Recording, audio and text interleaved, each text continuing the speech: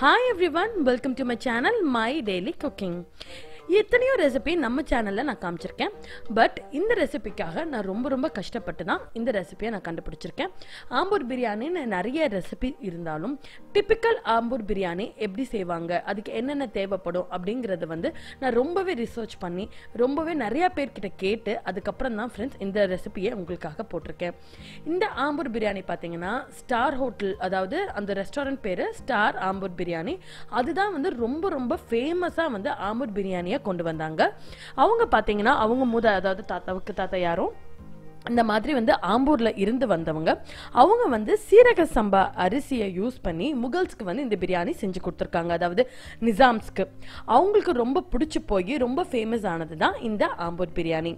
அங்கே முடிச்சுட்டு அங்கேருந்து இங்கே வந்துட்டு அவங்க இந்த ஒரு சைக்கிளில் வச்சுட்டு பிரியாணி விற்றுட்ருக்காங்க அதுக்கப்புறம் கொஞ்சம் கொஞ்சமாக டெவலப் ஆகி தான் ஆம்பூர் பிரியாணி ஃபேமஸ் ஆயிடுச்சு ஃபஸ்ட்டு ஃபஸ்ட்டு இந்த ஸ்டார் ரெஸ்டாரண்ட்டில் மட்டும்தான் வந்து ஆம்பூர் பிரியாணி இவ்வளோ ருசியாக செய்ய ஆரம்பித்தாங்க அதுக்கப்புறம் நாளடைவில் எல்லா ஹோட்டலுமே வந்து ஆம்பூர் பிரியாணி ஆம்பூர் பிரியாணி அப்படின்னுங்கிற மாதிரி விற்க ஆரம்பிச்சிட்டாங்க.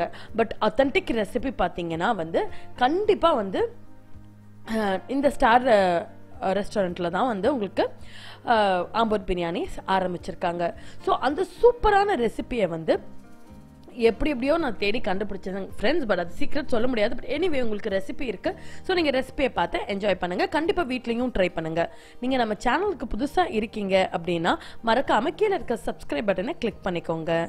பிரியாணிக்கு மெயினாக அவங்க ஃபாலோ பண்ணுறது பார்த்தீங்கன்னா கண்டிப்பாக நெய் யூஸ் பண்ண மாட்டாங்க. ரெண்டாவது எந்த விதமான பச்சை மிளகாயும் யூஸ் பண்ண மாட்டாங்க. நெய்யும் பச்சை மிளகாயும் யூஸ் பண்ணாமல் செய்யக்கூடியது தான் வந்து ஆம்பூர் பிரியாணி. பட் நிறைய இப்போ இருக்க ரெசிப்பியில் மருவி வருது.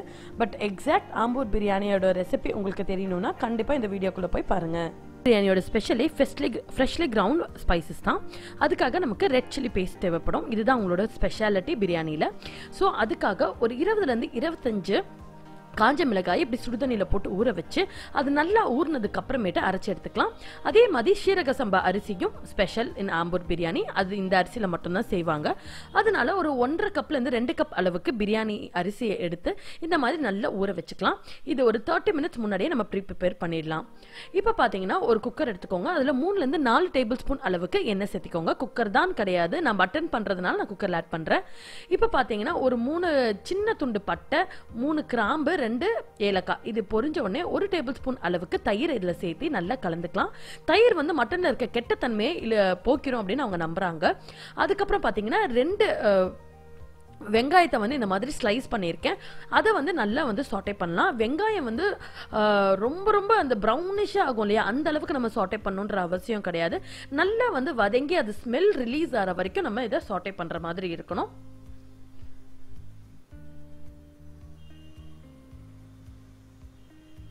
தயிர் சேர்க்கறதுனால வந்து உங்களுக்கு வெங்காயமும் ரொம்ப ஈஸியாக வந்து கலர் மாறாது. இப்போ பாருங்க இந்த வெங்காயம் வந்து கொஞ்சம் கொஞ்சமாக அந்த கலர் மாறிட்டு வருது. இந்த ஸ்டேஜில் ஒரு டேபிள் ஸ்பூன் அளவுக்கு பூண்டு விழுதை இதில் ஆட் பண்ணிக்கிறோம். ஆம்பூர் பிரியாணி ஒரு ஸ்பெஷல் என்னென்னா அவங்க இஞ்சி பூண்டு பேஸ்ட்டு சேர்த்து போடவே மாட்டாங்க. பூண்டை வந்து ஃபஸ்ட்டே போட்டு அதை நல்லா சாட்டே பண்ணிடுவாங்க. ஏன்னா அவங்க பிரியாணியோட டேஸ்ட்டு இஞ்சி பேஸ்ட்டில் தான் வருது அப்படின்னு நம்புகிறாங்க ஸோ பூண்டை வந்து நல்லா சாட்டே பண்ணுறதுனால அது நல்லா வந் வதங்கிறதுனால அந்த டேஸ்ட் வந்து கொஞ்சம் மட் கம்மி பண்ணும். ஸோ பூண்டோட காட்டம் வந்து அதிகமாக இல்லாமல் இஞ்சியோட ஃப்ளேவர் அதிகமாக இருக்கணும் அப்படிங்கிற மாதிரி அவங்க ஃபீல் பண்ணியிருக்காங்க பூண்டு ரெண்டு மூணு நிமிஷம் நல்லா வதங்கி இப்படி வந்த உடனே ஒரு டேபிள் ஸ்பூன் அளவுக்கு இஞ்சி பேஸ்ட்டை இதில் ஆட் பண்ணிவிட்டு ஒரு ஒரு ஒன் ஆர் டூ மினிட்ஸ் வந்து சாட்டே பண்ணால் போதும். லைட்டாக சாட்டே ஆன உடனே ஒரு ரெண்டு தக்காளியை இந்த மாதிரி ஸ்லைஸ் பண்ணி வச்சுருக்கேன். அதையும் ஆட் பண்ணிக்கலாம்.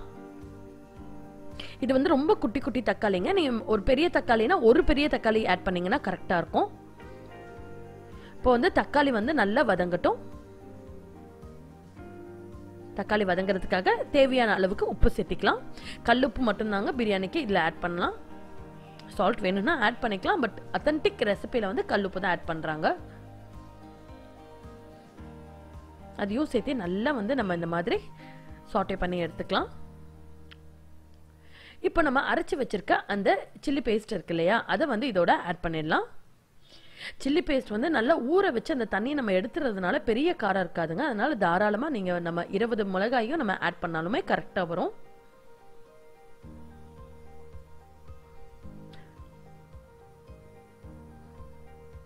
சில்லி பேஸ்ட்டு வந்து நல்லா வந்து அந்த வெங்காயம் தக்காளி இஞ்சி பூண்டோட மிக்ஸ் ஆகி நல்ல ஒரு அரோமா வர வரை வரைக்கும் நம்ம வந்து வதக்கிக்கலாம். இப்போது நம்ம எடுத்து வச்சுருக்க மட்டன் பீசஸை இதில் ஆட் பண்ணிக்கலாம். நான் ஒரு அரை கிலோவுக்கு ஒரு கொஞ்சம் கம்மியாக ஆட் பண்ணியிருக்கிறேன் நீங்கள் போனோடையே ஆட் பண்ணால் என்கிட்ட போன்லெஸ் இருந்ததுனால நான் போன்லெஸ்ஸாகவே ஆட் பண்ணியிருக்கிறேன் போன்லெஸ் தான் ஆட் பண்ணுங்கிற கம்பல்ஷன் எதுவுமே கிடையாது. இந்த சில்லி பேஸ்டோட மட்டனும் நல்லா வந்து ஓரளவுக்கு நம்ம வதக்கி அந்த ஜூஸஸ் வெளியே வர வரைக்கும் வதக்குறோம். பாருங்க ஓரளவுக்கு வந்து மட்டன் வெந்துருச்சு. இப்போ புதினா ஒரு கைப்பிடி கொத்தமல்லி ஒரு கைப்பிடி. நல்லா நறுக்குனதை ஆட் பண்ணி அதையும் கலந்து எடுத்துக்கலாம். இப்போ ஒரு கப் அளவுக்கு தயிரை இதில் ஆட் பண்ணிக்கலாம். இப்போ நல்லா வந்து இது கலந்து எடுத்துக்கலாம். நம்ம ரெண்டு வெங்காயத்துக்கு ஒரு தக்காளி அப்படிங்கிற சதவீதத்தில் போடுறதுனால பிளிப்பு புளிப்பு கம்மியாக இருக்கும். அதுக்காக வேண்டி தான் தயிரும் லெமன் ஜூஸும் நம்ம ஆட் பண்ணுறோம் இப்போ தயிரை போட்டு நல்லா வந்து மிக்ஸ் பண்ணி எடுத்துக்கலாம் ஃப்ரெண்ட்ஸ் தயிர் ஆட் பண்ணுறதுனால மட்டனும் வந்து நல்லா சாஃப்டாக குக் ஆகும். இதோட ஒரு கப் அளவுக்கு தண்ணி அதாவது நம்ம சில்லி பேஸ்ட் அரைச்ச அந்த ஜாரில் இருந்த தண்ணி ஒரு கப்பை வந்து ஆட் பண்ணிக்கிறேன். ஸோ தட் மட்டன் கொஞ்சம் நல்லா டெண்டராக குக் ஆகட்டும் அப்படிங்கிறதுக்காக.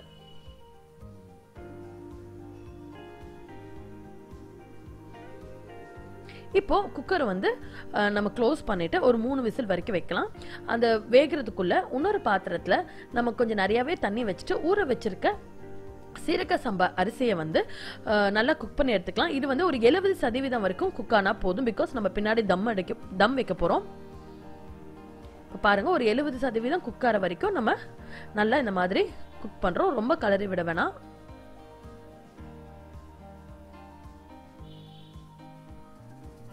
இப்போ பார்த்தீங்கன்னா வந்து குக்கரில் வந்து அருமையாக வந்து கிரேவி எல்லாம் மட்டன் எல்லாம் அருமையாக வந்துருச்சு.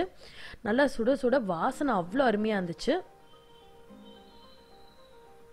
நல்லா வந்து மட்டன் குக் ஆயிருக்கான்னு ஒரு அளவுக்கு செக் பண்ணிக்கோங்க. ஏன்னா இதுக்கப்புறம் தம்ல பெருசாக வந்து மட்டன் குக் ஆகாது.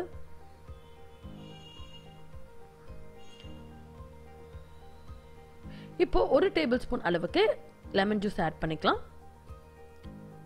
அதையும் நல்லா கலந்து விட்டுட்டு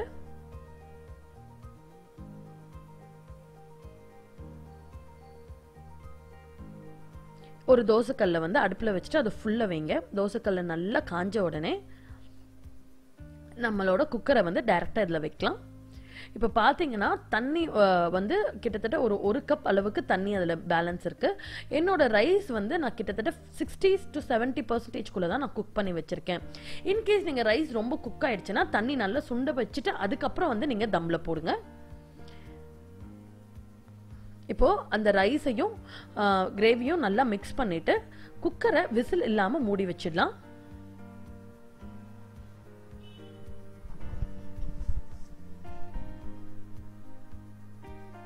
ஆக்சுவலி இது ரொம்ப ரொம்ப அத்தன்டிக்கான எம்மியான ரெசிபி உங்களுக்கு பிரியாணி பிடிக்கும் பிரியாணி லவ்வர் அதுவும் ஹோட்டலில் பிரியாணி பிடிக்கும் அப்படின்னா கண்டிப்பாக இதை ட்ரை பண்ணுங்க. இப்போயே வந்து அந்த ஹோட்டல் பிரியாணி கலர் வந்து எவ்வளோ அழகாக வந்திருக்கு அப்படிங்கிறது உங்களுக்கு தெரியும். நான் காஷ்மீரி சில்லிஸ் யூஸ் பண்ணியிருக்கேன் ஃப்ரெண்ட்ஸ்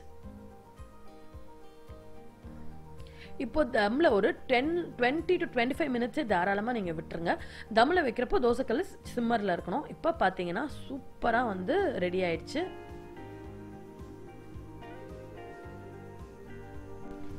பார்த்தீங்கன்னா பொல பொலன்னு உதுரு உதுரா சூப்பராக நமக்கு கடையில் எப்படி வாங்குறோமோ அதே மாதிரி ஆம்பூர் பிரியாணி வீட்லேயே நமக்கு ரெடி பண்ணிடலாம். கண்டிப்பாக ஒவ்வொரு பிரியாணிக்கும் ஒவ்வொரு ஃப்ளேவர் இருக்கும். நீங்கள் இந்த பிரியாணியும் ட்ரை பண்ணுங்கள் ட்ரை பண்ணிவிட்டு எப்படி இருக்குது அப்படின்னு கீழே இருக்க கமெண்ட் பாக்ஸில் எனக்கு அனுப்புங்க. நீங்கள் வந்து இந்த சேனலை பிடிச்சிருக்கு அப்படின்னா உங்களுக்கு ஒரு லைக் பட்டனை தட்டி விடுங்க. உங்கள் ஃப்ரெண்ட்ஸுக்கு அண்ட் ஃபேமிலிக்கு இந்த ரெசிபி தேவைப்படும்னா ஷேர் பண்ணுங்கள் நம்ம சேனலுக்கு புதுசாக இருக்கீங்க நம்மளோட சேனலோட கண்டென்ட் உங்களுக்கு பிடிச்சிருக்குன்னா பக்கத்தில் இருக்க நோட்டிஃபிகேஷன் பெல் பட்டனையும் கிளிக் பண்ணுங்கள் அப்போ தான் ஒவ்வொரு தடவையும் நான் ஒரு வீடியோ போடுறப்போ உங்களுக்கு